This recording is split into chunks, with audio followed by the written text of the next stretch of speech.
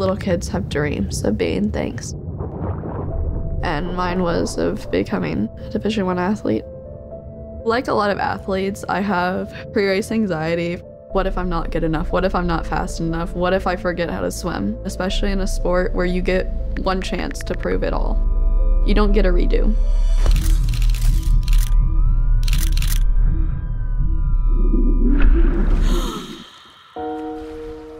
My name's Kenzi, and I am from Shalimar, Florida. I've been in love with swimming since I can honestly remember.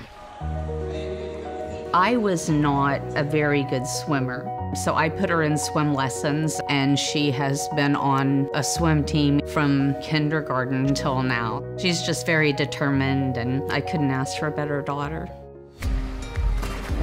I drive about an hour to get to swim practice, and my first car was a 2014 Subaru Crosstrek. And I knew they were supposed to be safe, but you never really know until you're actually in an accident.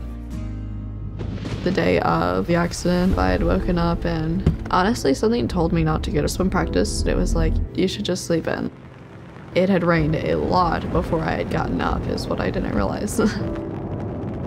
and they had just recently paved that road, so that road had oil pulled up at the top, which made the road very slick. I ran off the road and then my car started to flip. And my car flipped three times. And then all of a sudden I just hit a tree.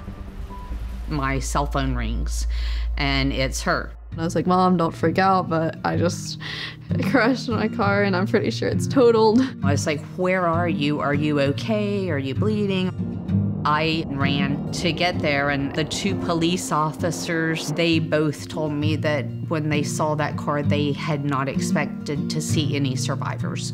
I was fine besides a couple of little scratches, but I had like tree things sticking through my hair and I was covered in dirt and rain. I went ahead and took her to the hospital to be evaluated. It kind of sounds weird, but honestly, a couple hours later, I was like, I still need to swim. The first thing she asked is, Can she go to swim practice?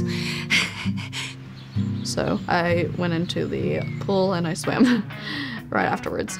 Stop scrolling. I need your help with something. So this was my car two days ago. After my crash, I decided to reach out to Subaru. My Subaru saved my life. And that's the reason I wanted to make this video, is to say thank you to Subaru. I owe my ability to still swim to Subaru's amazing safety standards. I am not a statistic. I am a survivor. Dear Subaru, thanks for saving my life, lifestyle, and all the things that I love. Thank you so much for saving her life. We will always be a Subaru family.